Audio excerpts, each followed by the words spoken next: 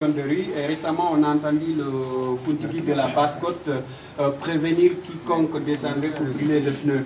Et euh, récemment aussi, il y a le président, euh, l'ancien membre de l'UFDG, le député de Dixine, qui vous a accusé, vous et votre allié Mamadou Silla Patrona, d'être à l'origine de la crise de leadership au sein de la coordination de la Basse-Côte.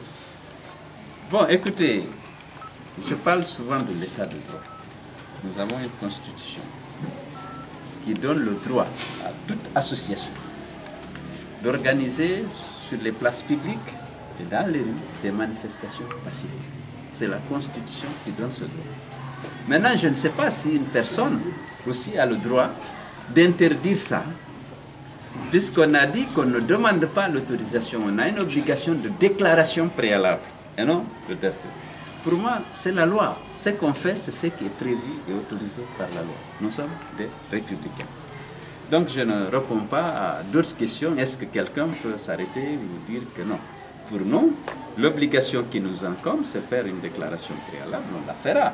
Et la dernière grande manifestation qu'on a organisée le 16 août 2016, on a travaillé étroitement avec le gouverneur et les forces de défense et de sécurité pour qu'il n'y ait pas euh, de dérapage.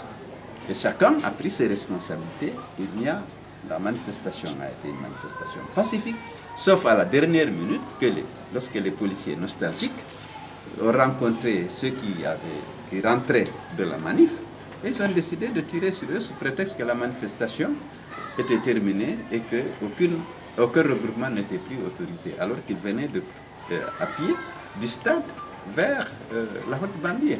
Ça, vous avez dit, on a tiré comme ça, on a tiré même sur quelqu'un qui n'a pas pris part à la manifestation, Ahmed Diallo, qui a mémoire.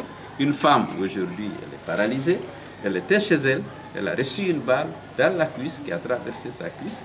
Aujourd'hui, jusqu'à présent, un autre a reçu une balle dans son cou et qui était, obligé, était obligé de l'envoyer au Maroc pour extraire la balle de son cou. Parce que simplement, quelques policiers nostalgiques ont vu des gens qui rentraient, qui qui n'étaient pas du tout violents, ils les ont, leur, ont tiré dessus. Monsieur le Président, la victoire d'Emmanuel Macron en France